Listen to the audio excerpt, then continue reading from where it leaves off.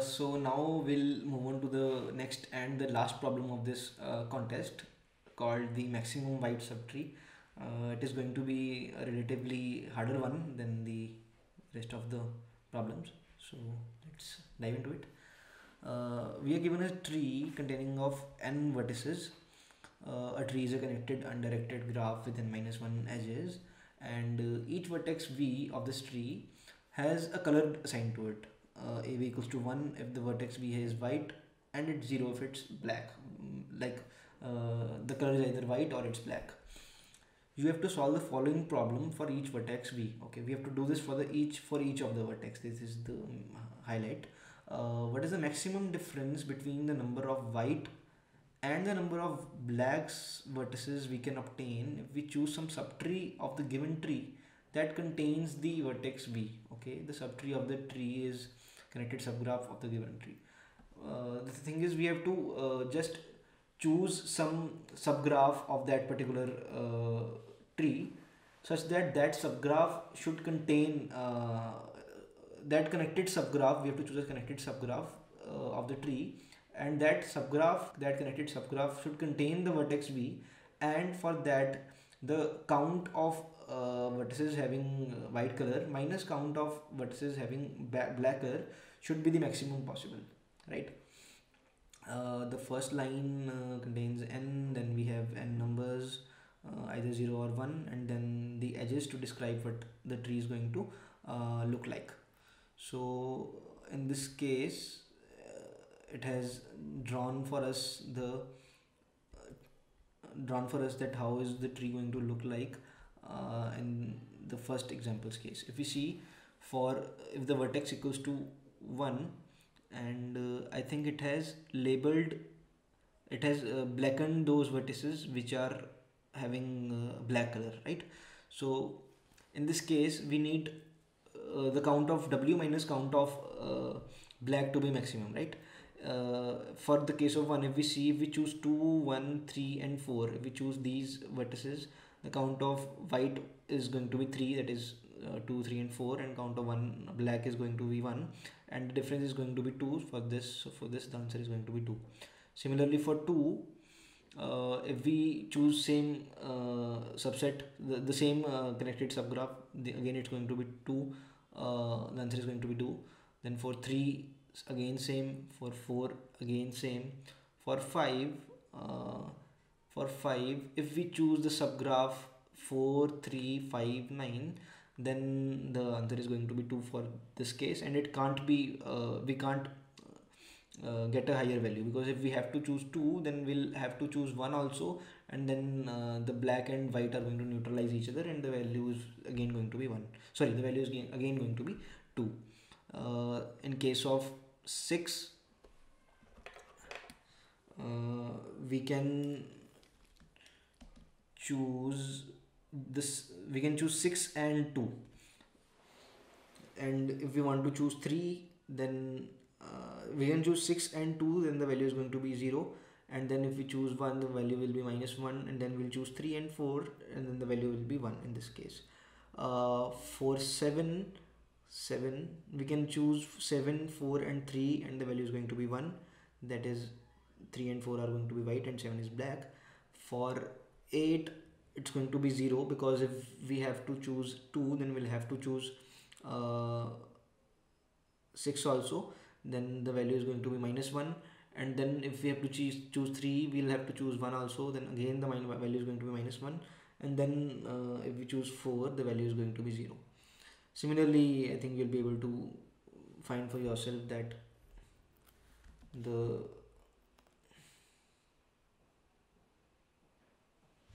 value is going to be uh, 2 for 9 so having seen the sample test case um, it can sim- can similarly be dry run for the second test case as well.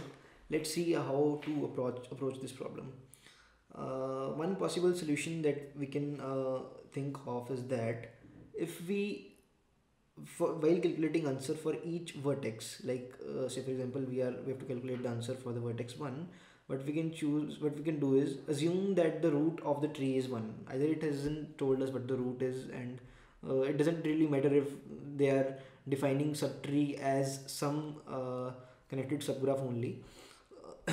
But for our uh, for calculating the answer for a particular vertex b let's say 1 what we can do is we'll just root up the tree uh, uh, by 1 and we can uh, apply dfs from 1 and uh, using dp we can see what is the maximum uh, you know color that we can get from the subtree of 1 because all of the vertices are then going to be uh, downwards of 1 because 1 will be the uppermost node right?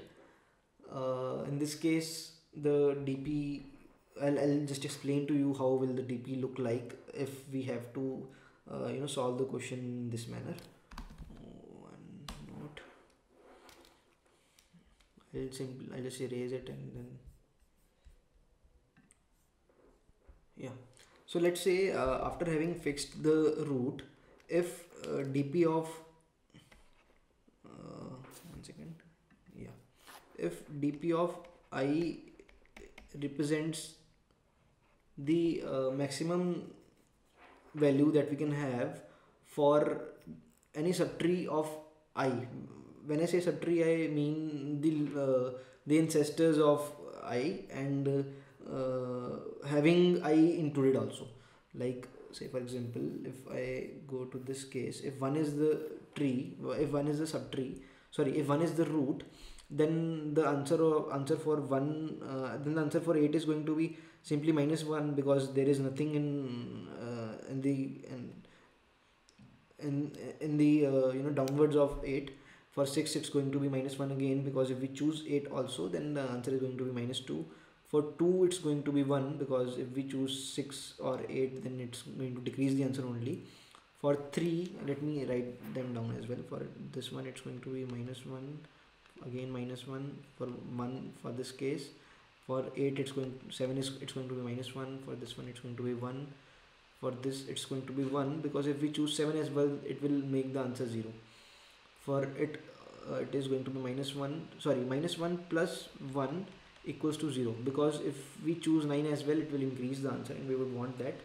For 3 what I'm trying to say now is for 3 the answer will be uh, 1 plus because we will have to choose the current node uh, that is compulsory uh, plus 1 because from 4 the maximum answer we can get is 1 plus 0 because the maximum answer from 5 that we can get is 0 that is 2 now for 1 the answer is going to be minus 1 because it's black itself plus 1 because the maximum answer we can get from its one of the childs is 1 plus 2 because from 3 we can get uh, maximum answer to be 2 and it's going to be 2 in this manner we can get the answer for each of the node if we consider only that part as its subtree that is uh, in that is in that is uh, in the lower levels of from that particular uh, you know node. Like for 3 if I say only I can choose only 4 5 7 and 9 uh, then the answer is going to be 2 for it. And uh, for 2 if I say if I if I can only choose 6 and 7 because uh, if I assume 1 to be the root 6 and 7 are the only 6 and 8 are only the are the only ones that are in the subtree of uh, 2 then the answer is going to be uh, 1 but in original we can see that the answer can be 2 as well.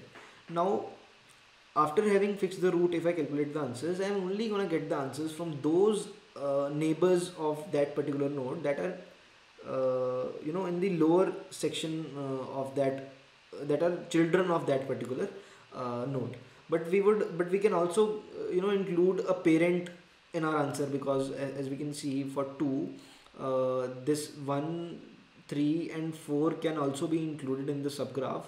And this way my answer can increase from 1 to 2 right?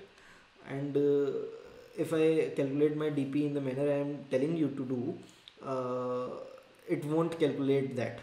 It won't include that now we basically want to uh, include that as well in some way. But let's first see what how will we calculate just uh, this much only. Uh, uh, like if we want to consider only the lower parts after having fixed a particular uh, root okay? Yeah. What can we do to basically calculate dp of i? If we see we can uh, you know try and include each of the uh, children to the subgraph. Why uh, but, but the but the benefit of including a subgraph the benefit of including including a child to its subgraph is only if the value of that particular uh, child's dp is greater than or equal to 0 because if it's negative i'll just simply ignore it and move on to other children.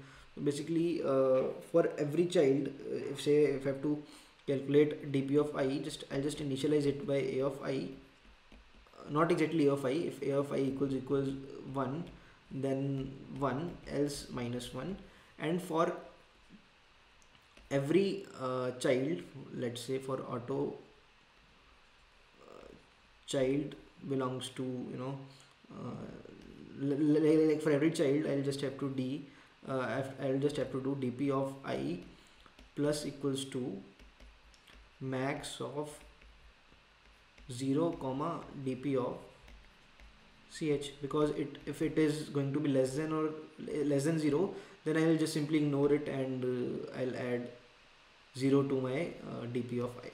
In this way I'll have the dp values that I'm looking for. Now I want the answer after having considered that I can uh, include the parent and its uh, ancestors as well right? Now let's see how that can be done. Okay uh, before getting uh, to the later part like before actually calculating the answer part let's just first code this much part and let's then see uh, what will be the later code okay? Uh, so let's first take the input we have n which is number of nodes and then we have a values which whose size is going to be 2 3 4 all right and then we'll have a adjacency list. Size will be going to be 2 raised to power 5 plus 1 first take input of n and then I'll take input of ai values and uh, then uh, I'll take input of the edges. And now I know that the number of edges are going to be n minus 1 I'll just add edges. And now I'm good to go. Now let's say I name that value to be dp1 and is right? And let's say I calculate its value values while calculating while applying DFS1 and we have a node and we have a parent and its default value I'll set it to 1 and 0 let's say I uh, make 1 the root of the tree. I'll just simply call DFS1 now what I'm going to do is uh, initially the dp of nd is going to be uh, if a of i equals equals 1 then it's going to be 1 or else it's going to be minus 1 right? And uh, okay sorry it's going to be dp1 not i it's going to be nd nd stands for node okay? Now I'll simply visit all of its children that will be in adjacency list of node but I'll just check if the child is not equals to parent. If the child equals equals parent then I'll simply continue.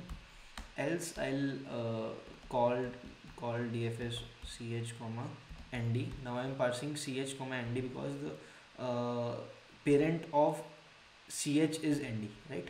Uh, after having called the DFS I'll have the value for that particular node that is ch now I can simply add dp of dp1 of nd plus equals to max of 0 I'll have to write 0 ll because I have done uh, uh, I have defined int as ll and I'll have to use ll while comparing the two values and dp1 of ch right uh, by the end of this dfs1 I'll have the values.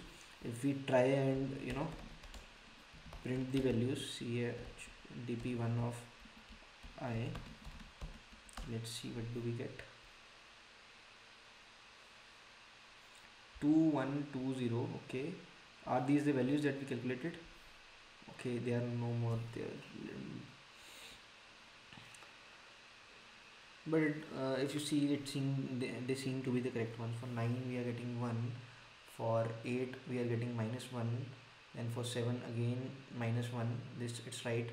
And uh, 9 8 7 and then for uh, 6 we are getting again minus 1 you'll if you will check i think you'll get to know that these are the correct values.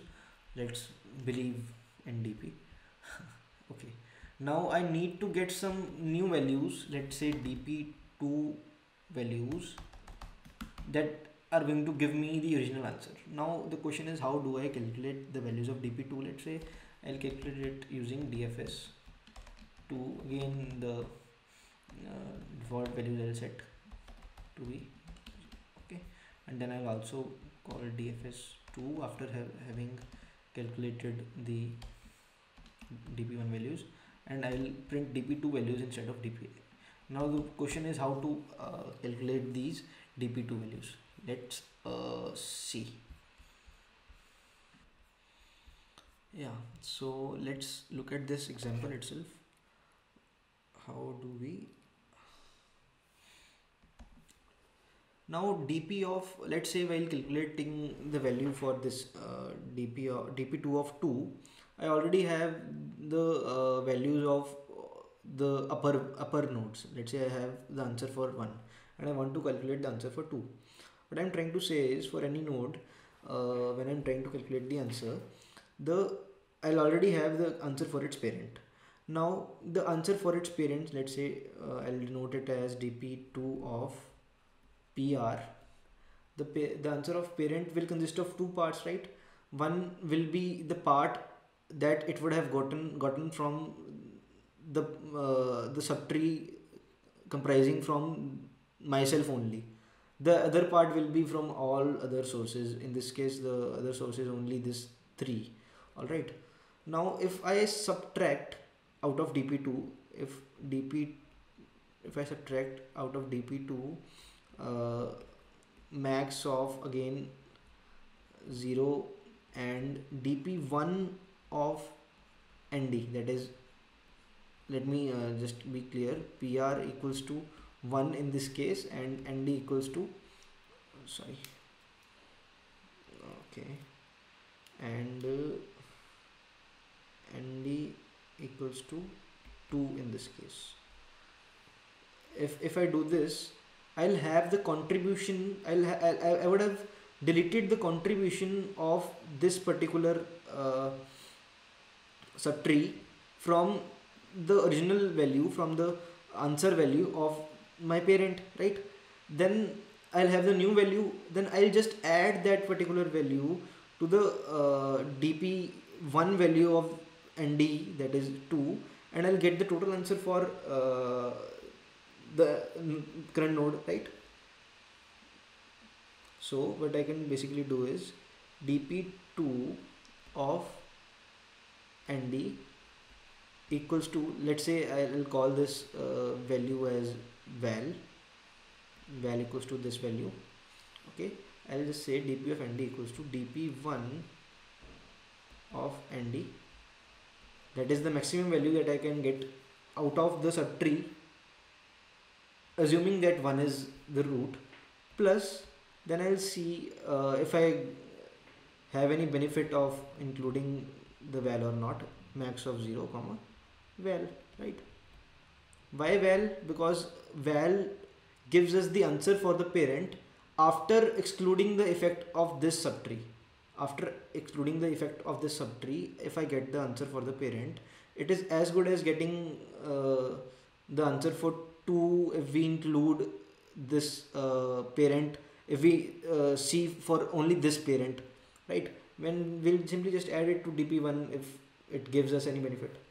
So let's see how can we implement it in code. Now dp2nd is simply going to be uh, dp1 nd first.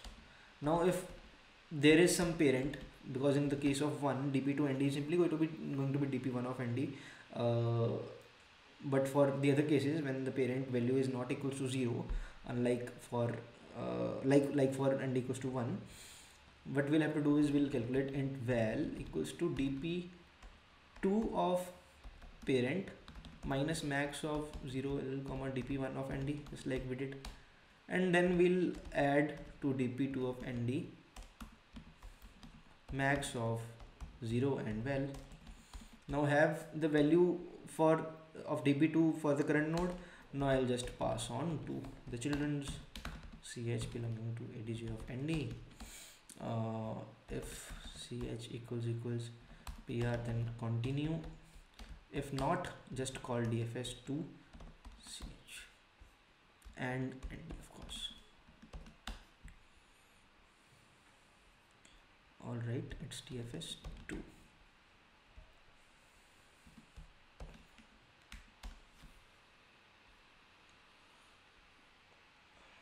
okay. The answer we have here is 5 times 2 double one zero two. And the answer is 5 times 2 double one zero two right? Let's check for this one. The answer should be 0 minus 1 1 minus 1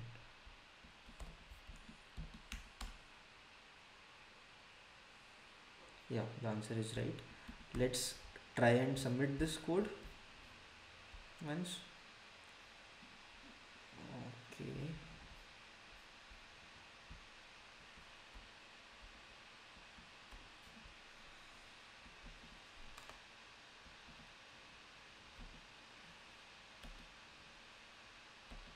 I guess it is going to take some time. Anyway I'll uh, link the solution in the description in the video description. Anyway I think it is going to be accepted because I use the same logic as I did during the contest and that code has been accepted right? So I hope you like the videos. I would love, love to hear some of uh, the feedback if you would uh, be kind to give me that. Uh, I hope you understood the solutions. Thank you.